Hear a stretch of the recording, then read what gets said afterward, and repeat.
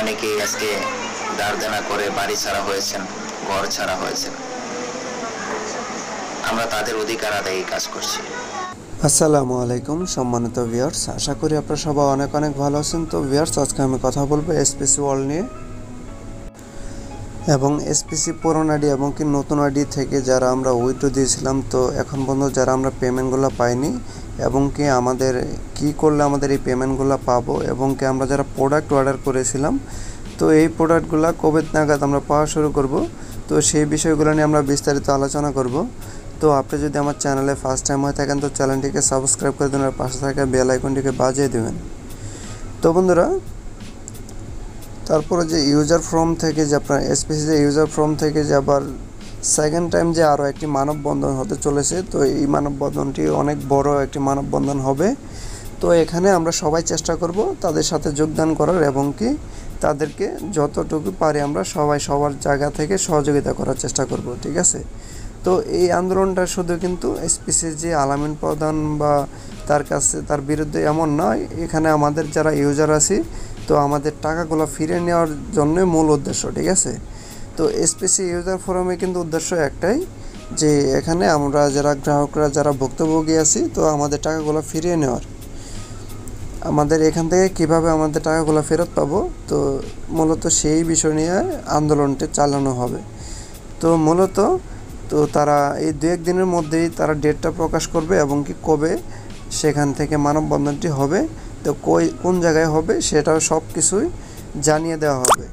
এবং কি আপনারা চাইলে কিন্তু তাদের টেলিগ্রাম গ্রুপে জয়েন হতে পারেন। তাদের গ্রুপের লিঙ্কটা আমি আমার ডিসক্রিপশনে দিয়ে দিব। তো আপনারা চাইলে সেখানে আপনারা জয়েন করে নিতে পারেন। তো এখন আসি যে আমাদের যে প্রোডাক্ট আমরা যারা প্রোডাক্ট অর্ডার করেছি এবং কি আমরা যারা নতুন আইডি এবং কি পুরনো আইডি থেকে উইথড্র দিয়েছি, তো আমাদের আইডির, অনেকের আইডির মেয়াদ শেষ হয়ে গেছে অলরেডি আবার, এবং কি আবার কিছু মানুষের আইডির মেয়াদ হয়তো বা এক মাস, দেড় মাস আছে। তো আমরা যারা উইথড্র দিয়েছি, আমাদের টাকাগুলো পেন্ডিংয়ে রয়েছিল, তো পেন্ডিংয়ে থাকা টাকা কিন্তু অনেকের যে অর্ডার ই আপনার উইথড্র দেওয়া ছিল, সেই টাকাগুলো কিন্তু ক্যান্সেল করা হয়েছে এবং কি রিটার্ন দেওয়া হয়েছে। তো অনেকের কিন্তু এই টাকাটা অ্যাড হয়নি এবং কি এখন পর্যন্ত মানে এর কোনো হিসাব মেলাতে পারেনি কেউ। তো এসপিসি যখন এই একটি আপডেট আসলো অ্যাপসে যখন আপডেট আসে, তো আপডেট আসার পরে কিন্তু এই ঝামেলাগুলো শুরু হয়। তো মূলত তারা একদম মানে সিস্টেমটা এমন উল্টাপাল্টা করছে মানে এখানে সাধারণ মানুষের বুঝতে অনেক কষ্ট হচ্ছে। তো এখন এখানে যারা আমরা প্রোডাক্ট অর্ডার করেছি, তো এর আগে কিন্তু আলামিন প্রধান, যখন আমরা সবাই যখন মামলা দেওয়ার মানে সেভেন স্টার এবং কি এজেন্টদের বিরুদ্ধে যখন আমরা কথা বললাম, আবার এজেন্টরা যখন আলামিন প্রধানের বিরুদ্ধে কথা বলে, তো তখন কিন্তু আলামিন প্রধান হঠাৎ করে কিন্তু একটা কথা বলেছে যে, আপনারা আর কিছুদিন অপেক্ষা করেন, আপনাদেরকে আমি মানসম্মত একটা প্রোডাক্ট দেওয়ার চেষ্টা করব ঠিক আছে? যেখানে মানে প্রোডাক্টটার মান অনেক ভালো হবে, উন্নত মানের প্রোডাক্ট দেওয়ার চেষ্টা করবে। তো এরকম কথা কিন্তু আলামিন প্রধান বলেছে। তো তখন কি হলো? তখন কিন্তু আমরা সবাই আবারও অপেক্ষা করলাম এবং কি সবাই চিন্তা ভাবনা করলাম, যেহেতু এই কথা বলেছে, তো তিনি আমাদের প্রোডাক্টটা এই জুলাই মাস থেকে দেওয়া শুরু করবে। তো এটা কিন্তু মেবি পঁচিশ, ছাব্বিশ তারিখ থেকে ঘটনা। তো আজকে কিন্তু দুই তারিখ অলরেডি হয়ে গেছে, আগস্ট মাসে দুই তারিখ। তো এই মাসটাতে মূলত আমাদের যা করার এই মাসেই করতে হবে। কারণ আলামিন প্রধানকে আর কেউ কোনো মানে ছাড় দেওয়া হবে না তাকে। তাকে আপনি যতই ভালো মনে করেন না কেন, সে আসলে একটা দুষ্ট লোক, ঠিক আছে? সে ভালো লোক নয়। তো আলামিন প্রধান যদি ভালো হতো, সে কিন্তু আমরা যারা ইউজার এখানে ভুক্তভোগী আছি, তো আমাদের দিকে একটু হলেও নজর দিত। তিনি কিন্তু আমাদের কোনো কথাই শোনেননি, কোনো প্রকার কোনো টাকা পয়সা এখন পর্যন্ত কাউকে কোনো ফেরত দেওয়া হয়নি। এবং কি যারা নতুন আইডি খুলেছে, তাদেরকেও এখন পর্যন্ত কোনো পেমেন্ট দেওয়া হয়নি।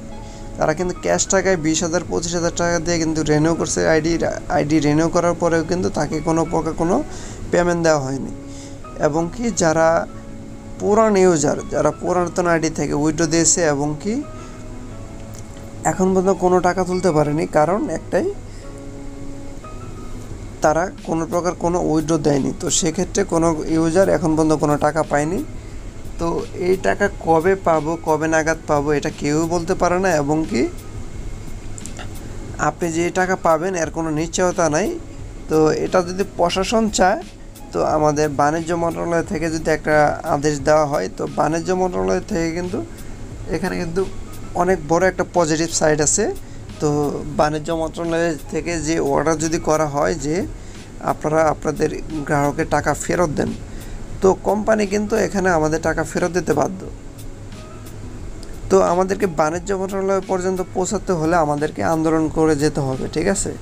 তো সেখানে যদি আমরা আন্দোলন না করি, তো আমরা যদি কোনো কথা না বলি, আমরা নিজ নিজ জায়গা থেকে আমরা নিজেরা যদি কোনো কথা না বলি, তো আমি মনে করি এখান থেকে আমরা টাকা ফেরত পাবো না। তো আমরা যদি সকলে মিলে যদি আমরা আন্দোলনটি চালিয়ে যাই এবং কি সবাই সবাইকে সহযোগিতা করি তো আমি মনে করি এই জিনিসটা উপরে লেভেলে পর্যন্ত যাবে এবং কি বিভিন্ন মিডিয়াতে নিউজ হওয়ার পরে কিন্তু একটা জিনিস এখানে প্রকাশ হয়। তো যখনই দেখবে যে আমরা এখানে আগ্রহী আমাদের টাকাগুলো ফেরত নেওয়ার জন্য আমরা চেষ্টা করছি, তো তখন কিন্তু বাণিজ্য মন্ত্রণালয়ের নজরে যদি আসে, তো আমি মনে করি এই টাকাটা আমরা ফেরত পাবো। এবং কি যারা পণ্য অর্ডার করেছে, এই পণ্যটা পাওয়ার পর্যন্ত আমাদের মানে এখান থেকে আশা রাখা যায়। তো এখানে আমাদের একত্রিত হয়ে কাজ করতে হবে। তো আপনারা এসপিসি ইউজার ফোরামে দেখবেন, প্রায় দশ হাজার মতো মেম্বার হতে চলেছে।